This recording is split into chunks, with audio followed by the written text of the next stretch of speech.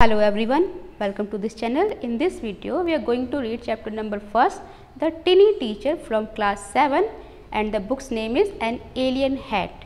तो चलिए पढ़ते हैं ये सेकंड पार्ट हम पढ़ रहे हैं फ़र्स्ट पार्ट हम पढ़ चुके हैं the queen is the mother of the entire population of the colony जो चीटियों की कॉलोनी होती है ना उसमें जितनी भी जनसंख्या चीटियों की होती है उस पूरी जनसंख्या की माँ माना जाता है रानी चीटी को it lives for about 15 years और ये 15 साल तक ज़िंदा रहती है।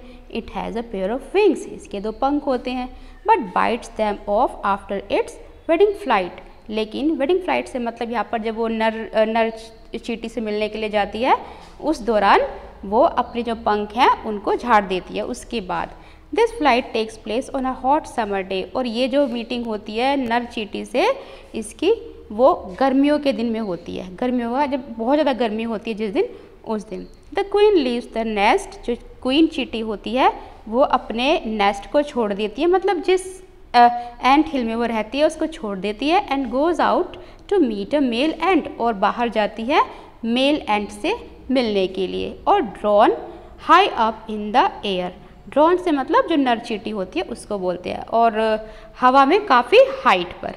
On its return to earth और जब ये वापस आती है धरती पर it gets rid of its wings तो ये अपने पंखों से छुटकारा पा लेती है मतलब तोड़ देती है उन पंखों को. And then does nothing but lay eggs और उसके बाद क्या करती है? ये कुछ नहीं करती, सिर्फ़ अंडे देती है. कौन? रानी चीटी. Eggs hatch and grubs come out और उसके बाद जो अंडे होते हैं ना, इसके अंदर से जो ग्रब्स होते हैं, वो बाहर निकलते हैं। ग्रब्स कहते हैं लार्वा को। सोल्जर्स गार्ड दैम और जो सैनिक चीटी होती है, वो इनकी देखभाल करती हैं। Workers feed and clean them जो वर्कर चीटियाँ होती हैं, वो इनको खाना खिलाते हैं और इनको साफ़ रखते हैं and also carry them about daily for airing exercise and sunshine और ये जो चीटियाँ होती हैं इनको बाहर भी ले जाती हैं, हवा के लिए एक्सरसाइज कराने के लिए और धूप दिलाने के लिए। टू और three weeks later grubs become cocoon और तीन या चार हफ़्ते बाद जो ग्रब होता है, जो लार्वा होता है, वो कोकून में तब्दील होता, हो जाता है। एंड लाई विदाउट फ़ूड और activity for three weeks more और बिना किसी काम किए, बिना किसी खाने के वो तीन हफ़्ते तक और रहता है। Then the cocoon break and perfect ants appear और उसके बाद जो कोकून्स होते हैं, वो टूट जाते हैं और उसके अंदर से चीटियाँ बाहर निकलती हैं। Now it's time for teaching and training और अब इन चीटियों की बारी होती है सिखाने की और ट्रेनिंग देने की। New ants learn the duties from old ants as worker जो नई चीटियाँ निकलती हैं ना कोकोन से? वो अपने जो कर्तव्य होते हैं सारे, वो पुरानी चीटियों से, या सैनिक चीटियों से सीखती हैं। सोल्जर चीटियों से और जो काम करने वाली चीटियाँ होती हैं, उनसे वर्कर चीटियाँ और जो बिल्डर्स चीटियाँ होती हैं, जो क्लीनर्स चीटियाँ होती हैं, इन सबसे वो सारे काम, सारे कर्तव्य अपने सीखती हैं, जो नई चीटियाँ होती हैं। ये सारे काम सिखाते हैं, बाकी जो ओल्ड चीटियाँ होती हैं वो इनको। After a few weeks training the small ants are ready to go out into the big world of work और कुछ हफ्तों बाद ये जो नई चीटियाँ होती हैं, ये अपना ट्रेनिंग इनकी पूरी हो जाती है, ठीक है? और फिर ये बाहर जाती हैं, संसार में, बड़े से संसार में अपना काम करने के लिए, जैसे कि बाकी चीटियाँ जाती हैं। An ant hill is a home not only for ants एक एंट हिल जो होता है, वो घर होता है, सिर्फ़ चीटियों का ही नहीं but also for some other creatures उसके अलावा जो बाकी छोटे जीव होते हैं, जिनमें बीटल्स आते हैं लेसर ब्रीड्स ऑफ़ एंट्स आती हैं और ग्रीन फ्लाई आती हैं। बीटल्स से मतलब होता है भ्रंग, या जिसे हम भवरा कह देते हैं। लेसर ब्रीड्स ऑफ़ एंट्स मतलब जो चीटियों की प्रजाति कम मिलती है, वो और ग्रीन फ्लाई भी एक तरीके की मक्खी होती है। Why do ants want these alien creatures to live in their nest अब ये जो चीटियाँ होती हैं, वो इन एलियन क्रिएचर्स को मतलब अजनबी जो जीव होते हैं, उनको अपने नेस्ट में क्यों रहने देती हैं? क्यों अपने घर में रहने देती हैं? फॉर सेवरल रीजन्स इसके कुछ कारण हैं।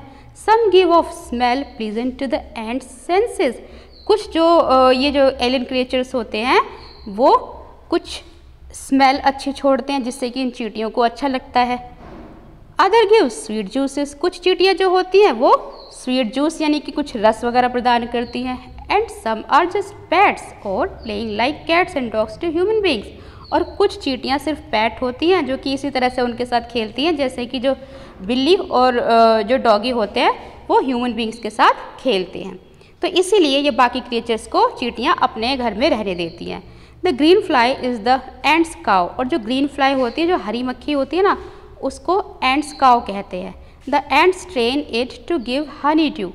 और जो चीटियाँ होती हैं, इनको ट्रेनिंग देती है हनी ड्यू देने के लिए। हनी ड्यू होता है एक तरीके से जो फूलों का रस होता है ना, उसको बोल देते हैं। With the touch of their antenna अपने एंटीना के टच से। ये सिखाती है इनको।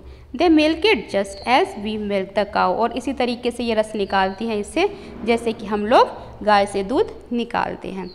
Have humans turn as much as ants have अब क्या जो मनुष्य हैं, वो इतना सीखते हैं जितना कि जो चीटियाँ हैं, वो मेहनत करती हैं, वो इतना सीखती हैं? पर हैव्स दे हैव शायद हाँ सीखते हैं. But they haven't put their learning to good use लेकिन जो भी वो सीखते हैं, उसका अच्छे से इस्तेमाल वो इतना नहीं करते जितना कि जो चीटियाँ हैं, वो करती हैं. They may still learn a few things from the tiny teacher और जो ह्यूमन बींग्स हैं, जो इंसान है, वो इन छोटी छोटी चीटियों से, यानी कि छोटी अध्यापिकाओं से बहुत सी चीज़ें सीख सकती हैं।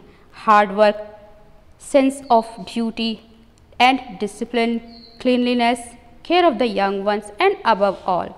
यानी कि मेहनत करना, अपने कर्तव्य को समझना, अनुशासन में रहना, साफ़ सफ़ाई रखना और छोटे बच्चों की देखभाल करना, ये बाकी सारी चीज़ें। और साथ ही साथ a firm loyalty to the land where they live एक लॉयल्टी में रहना भी सीखती है। उस संसार में या उस जगह पर, जिस जगह पर वो एक साथ रहती है। उनके प्रति अपने सभी कर्तव्यों को वो समझती हैं, वफादारी से रहती हैं, आपस में नहीं झगड़ती। तो दैट वॉज़ योर चैप्टर यहाँ पर ये कंप्लीट हो जाता है। आई होप कि आपको ये समझ आ गया होगा। अब हम मिलेंगे नेक्स्ट टॉपिक में नेक्स्ट चैप्टर के साथ। Till then bye take care have a nice day